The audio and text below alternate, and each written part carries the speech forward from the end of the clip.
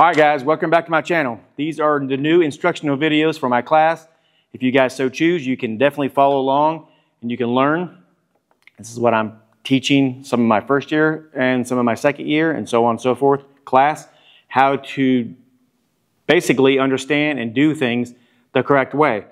Now, we're going to go and we're going to learn how to strip wires. I already did a video on how to make hooks on wires. We're going to go over the very basics of the strippers here. This is the pair that I have. Two sides on your strippers. One side is for solid wire. One side is for stranded wire. Keep in mind, if you're in my class, almost all the time we only be using solid wire. Not saying we will never use stranded wire, but for our demonstrations, for our trainers, we're always using Romex, which always has solid wire in it. So keep in mind, one side is for solid, one side is for stranded. Uh, it starts at 18 gauge for the solid and goes all the way to 10, 18, 16, 14, 12, and 10.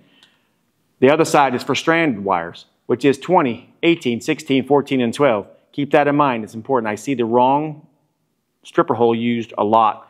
I'm going to be stripping that 12 gauge wire and I'm making the perfect wire joint. I've done a video years ago because I've seen so many people not do it right. Not saying mine is the only way to do it. I'm saying mine is the easiest way so you guys will always know exactly how long to make it. So your wire nut will always, always go on these and always cover.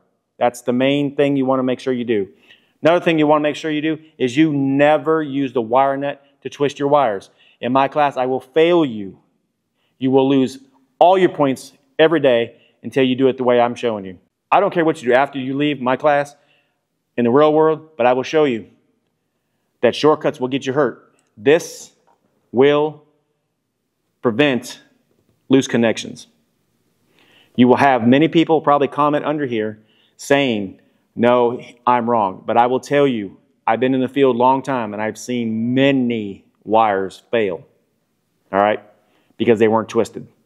Only with a wire nut. That is a no-go in my class. It should be a no-go for life. So, remember what we're going to do put the 12 gauge in the right size hole. Now, if you want to know more about the strippers, you can look at my hooks uh, video and you can see it.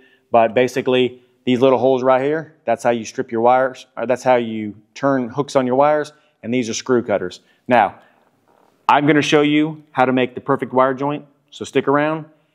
Like I said, this is going to be an informative video. There's talking in it because this is more for instructional for my students.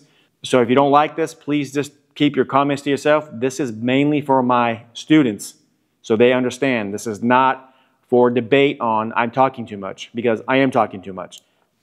But this is important stuff. So let's come down here and I'll show you. One of your main things you want to do when you strip wires, I don't care if you strip it this long or if you strip it the correct length. It doesn't matter to me. So I'm going to strip at two different lengths so I can show you what I'm talking about. The main thing you need to make sure you do when you are twisting your wires is keep these two pieces of insulation. Insulation is not the copper. Insulation is the PVC jacket on here. You want to make sure that they are lined up no matter how long they are. You see these are two different lengths as you see. But the insulations are lined up almost perfect. All right? Another easy thing to do, very easy thing to do. I see my students trying to twist the wires like this. All right, you see they're keeping the wire straight. You can do the same thing in a box. You can do the same thing in a panel, anywhere. All you need to do is line up your insulations, turn a right angle on it. So you have it look like this, like a seven. Keep the insulation lined up. As you see, mine is still lined up. It ain't got to be exactly perfect, but it's got to be really close, like that. You see how close that is? You see how perfect that is? Then all you got to do is hold it, take your Kleins, and twist it. I'm going to show you right here. Do you see the insulation still is intact? It's still exactly where it was when I first started out. And I have a right angle on here, a left angle, whatever you want to say. It doesn't matter. Just make it look like that. It's so much easier. You can do the same thing in a box, like I mentioned. There's no reason to fight this. Do it as easy as possible. Make this as easy on yourself as humanly possible. Keep twisting.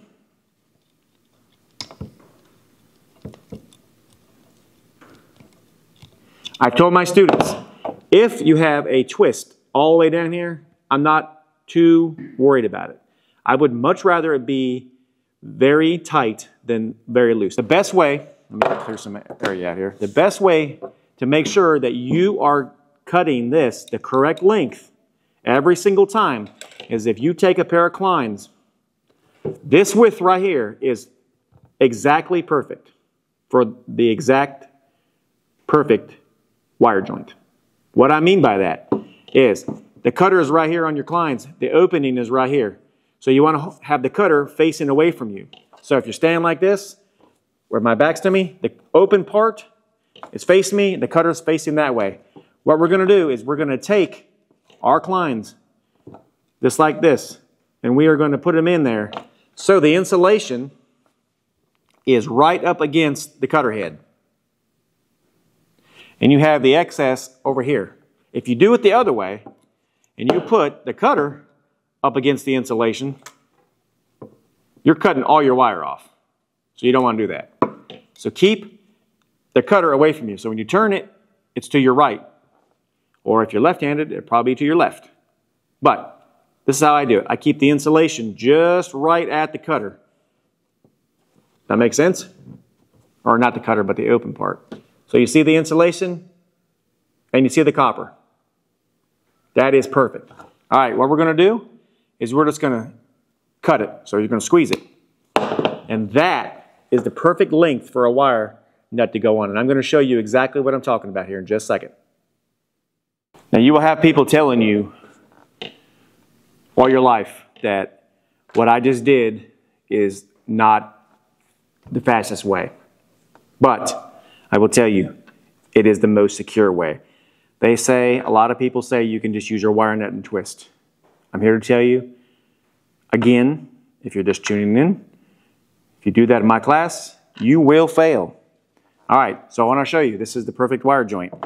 So if you put this wire nut on, all your copper, of course you'll put it on tighter, but all your copper is covered. You put this wire nut on, all your copper is covered. If you put this wire nut on, all your copper is covered. Even the yellow, all the copper is covered. So that is the perfect wire joint. And when you're done, you just fold it out. And now you have a straight joint and you're ready to go. Push it back in the box. Call it a day. All right? That's how I want you to do it. Remember, this width Klein has already thought about it. I don't know if they really thought about it, but I thought about it, and this is the perfect width for a wire joint. So there you go. Twist your wires. Always twist your wires. I know what the wire nut bag says, but I'm telling you, if you're in this class or any of my classes in the future or around me and you don't twist and you're on my job, I will fire you. I don't care how good of an electrician you are. This is your weakest link right here. Any splices that you make is your weakest link. You want to make it as tight as possible so there's no issues ever. Okay? Anytime you compromise any wire, it's your weakest link. So, if you want to see how to make hooks on receptacles and how to correctly bend them using your strippers, definitely check right up here in this corner, right there and you will see the video coming up. All right, that is a very informative video. It's another talking video, but it's important that you guys understand this. If you like what you see, like and subscribe. God bless, and I'll catch you guys on the next one. Have a great day.